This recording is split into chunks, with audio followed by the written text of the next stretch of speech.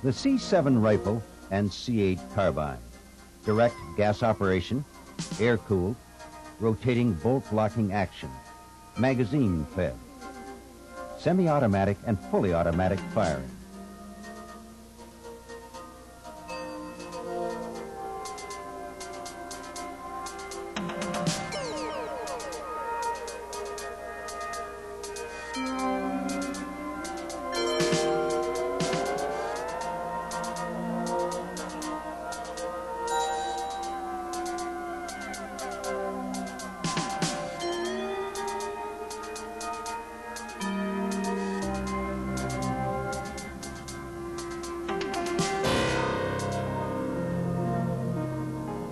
Cycle of operation has seven distinct actions. Firing, unlocking, extraction, ejection, cocking, loading, locking. From firing to locking, the cycle of operations takes seven one hundredths of a second.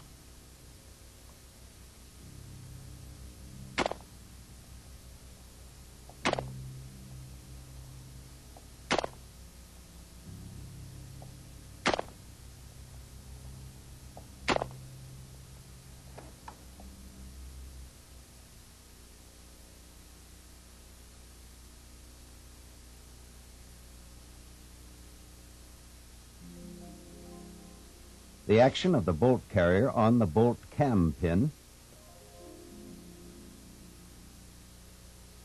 unlocks the bolt.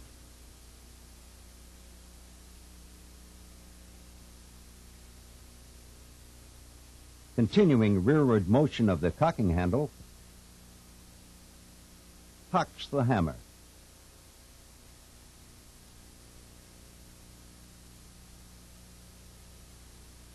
And withdraws the bolt from the breech, allowing the cartridge to rise into the feedway.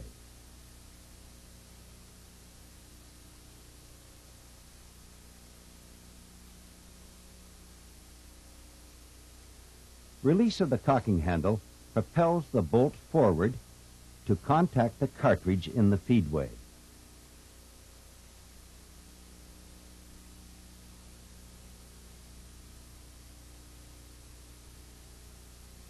The cartridge is chambered.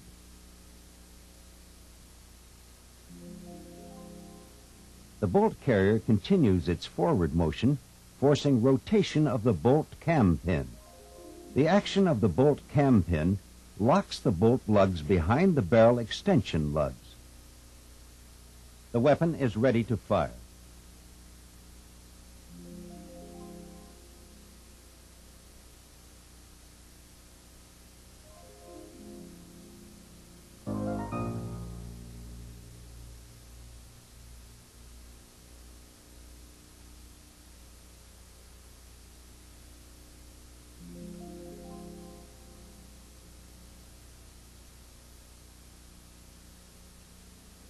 The impact of the firing pin against the primer ignites the propellant.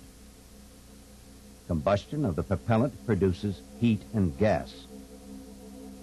Expansion of the gas forces the bullet to detach from the cartridge. The bullet is engraved by the rifling of the barrel.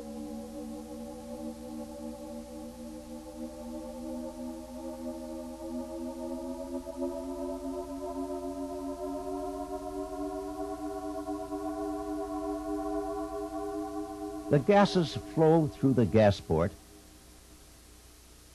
and a gas tube to the bolt carrier.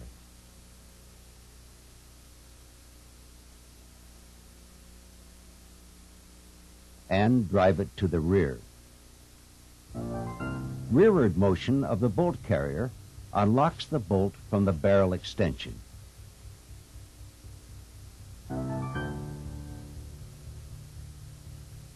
The bolt extracts the cartridge case from the chamber.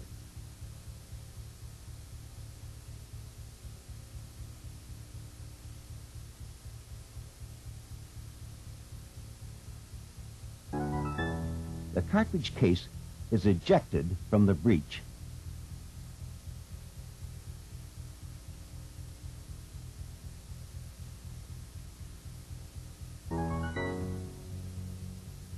The disconnector engages the upper hammer bent to prevent refiring.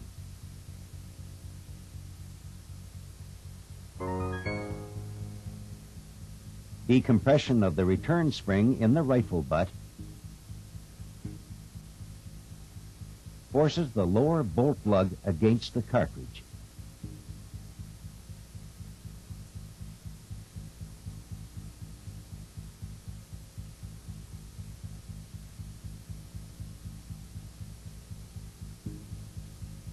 Cartridge is chambered. Continued forward motion of the bolt carrier locks the bolt into the barrel extension.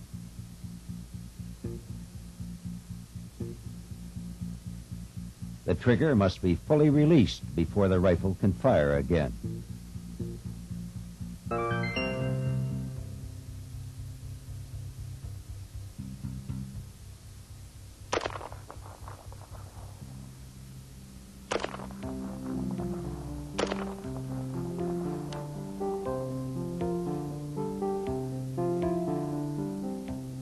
The hammer is held to the rear by the sear engaged in the lower hammer bent.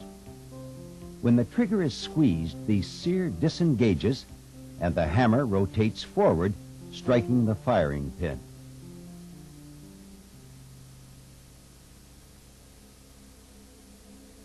Combustion of the propellant produces heat and gas. When the gas builds up to its maximum pressure, the bullet is forced from the cartridge.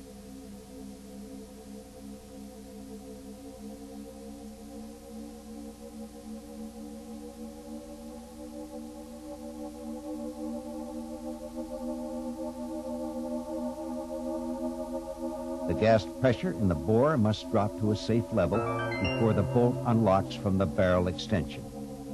Enough gas returns through the gas tube to force the bolt carrier to the rear, unlock the bolt, and extract the cartridge case.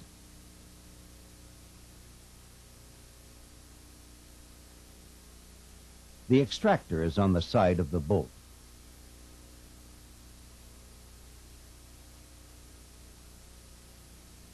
The extractor claw was forced into the cartridge groove during loading.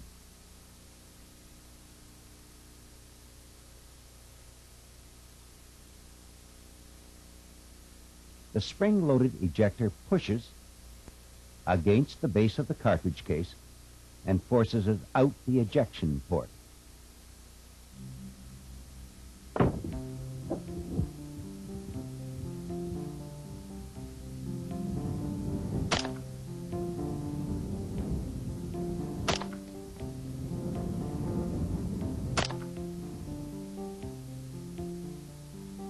The hammer is rotated to the rear by the bolt carrier until a disconnector engages the upper hammer bent.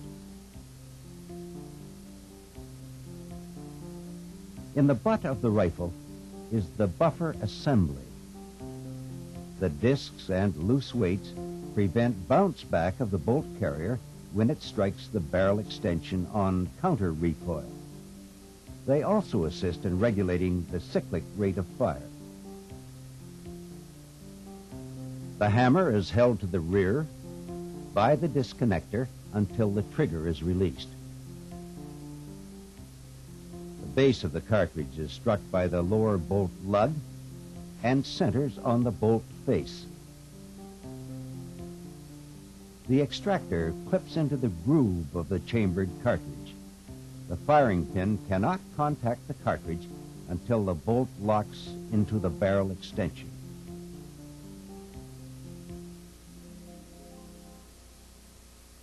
The weapon is ready to fire only when the trigger is fully released. The hammer is now released from the disconnector and is held by the sear. Firing on repetition or single shot. The cutaway section of the fire control selector allows the sear to release the hammer when the trigger is squeezed. The disconnector rotates forward to engage the hammer and prevent refiring before the operator can release the trigger.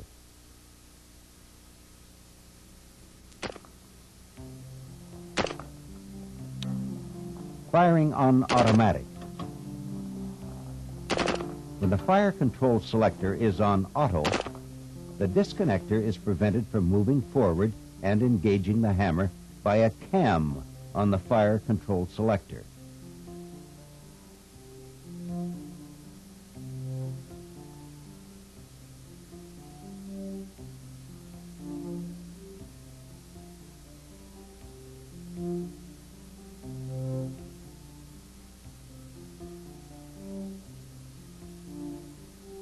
The rearward motion of the bolt carrier rotates the hammer to the rear. On the return or forward motion, the hammer is held by the automatic sear until the automatic sear is knocked forward by the bolt carrier and the hammer is released.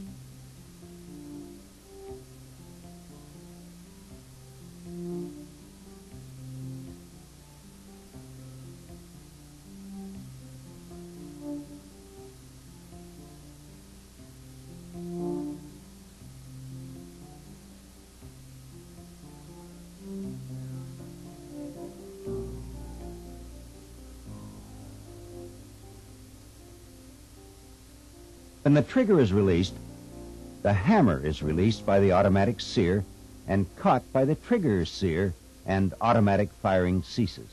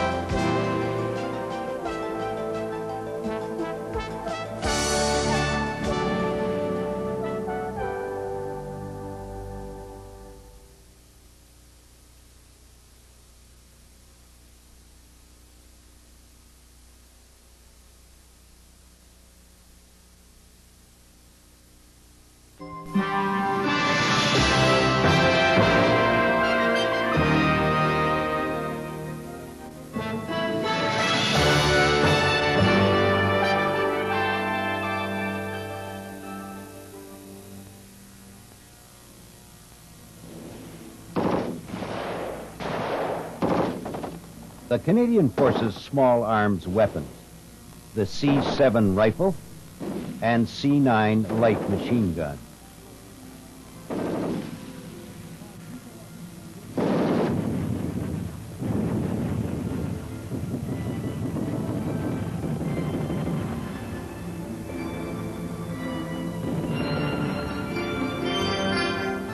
Firing 5.56 NATO ammunition the C-77 ball cartridge. Length, 56.4 millimeters. Weight, 11.8 grams. The cartridge is made up of a primer containing a priming mixture and a tapered cartridge case containing the propellant charge.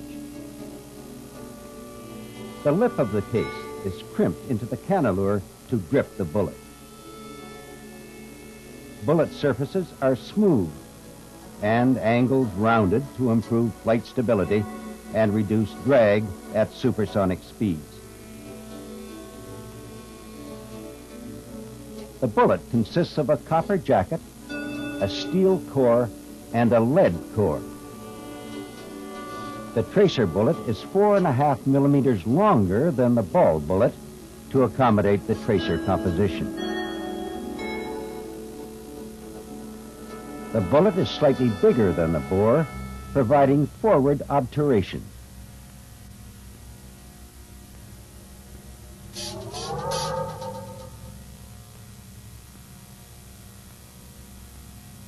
When the hammer strikes the firing pin, the priming mixture is crushed against the anvil and explodes. The propellant reaches its point of ignition at approximately 170 degrees centigrade and converts into rapidly expanding gas.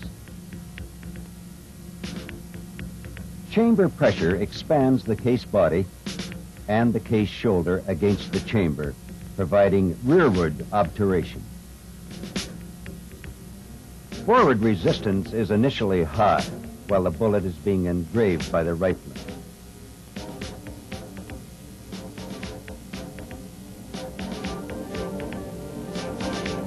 The bullet reaches a velocity of 920 meters per second and is spinning at 5,200 revolutions per second by the time it exits from the muzzle.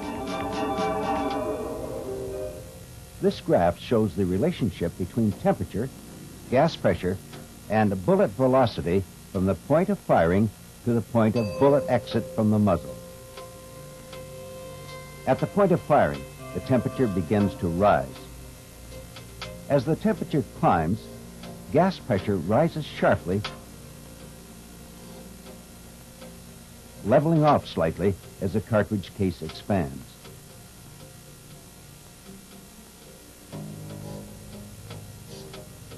Six ten thousandths of a second after firing, the temperature climbs to 2600 degrees centigrade. As the bullet begins to move, the gas pressure declines from its peak of 350 megapascals.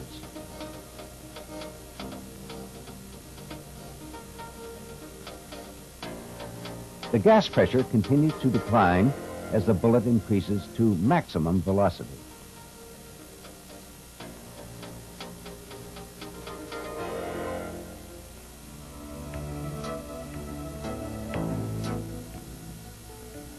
Priming mixture ignites the propellant and the combustion produces heat and gas.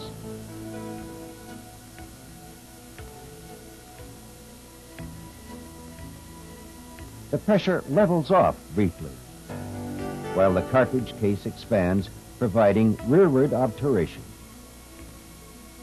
As the pressure builds to its peak, the bullet is dislodged.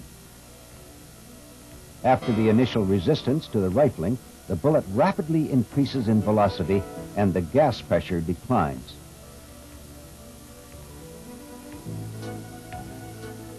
The system is designed to deliver enough gas pressure back to the breech to operate the action.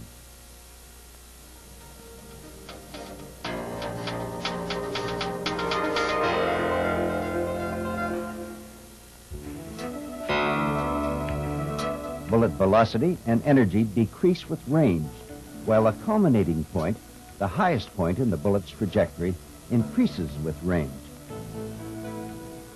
At the muzzle, bullet velocity is 920 meters per second, and the energy is 1800 joules.